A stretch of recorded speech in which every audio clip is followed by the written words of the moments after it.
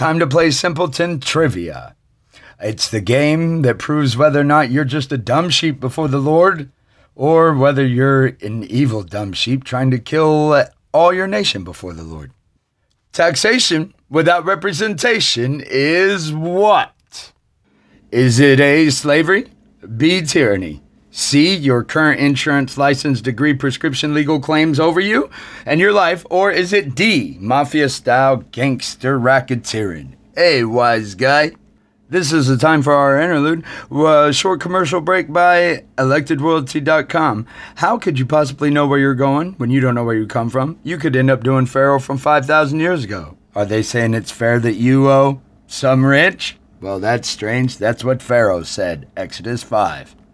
We're back. If you answered B, tyranny, well, that is the original quote by Thomas Otis, but it was a trick question altogether. Every answer was the answer. Tyranny is slavery. The people, just so you know, that if you're forced to pursue the happiness of others, seeking their degrees and idols they make with their hands, well, then you are under a tyrant rule. Shouldn't you be pursuing your own happiness and not theirs? Or are you too scarecrow whoredom to know any better? Don't have no brains? Sorry about that. Should have been born by God. Even cockroaches get to choose.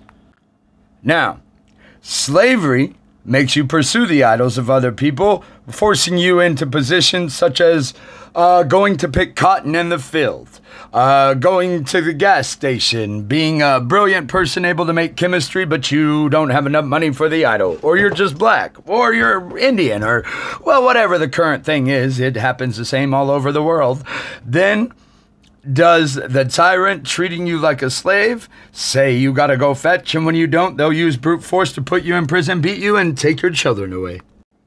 To prove this, let facts be submitted. If the government ever says that you have to have an idol, they must provide it from the common general tax. Otherwise, it is taxation without representation. Can they not budget with the money you give them to provide that idol that they say you need?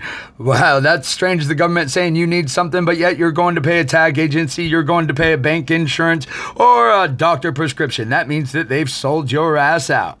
Every man knows what tyranny is when they stop you on the road and say you better pay us or something bad might happen. Come on now, wise guy, like we haven't seen New York Mafia movies. Hey, you gotta go on and pay now.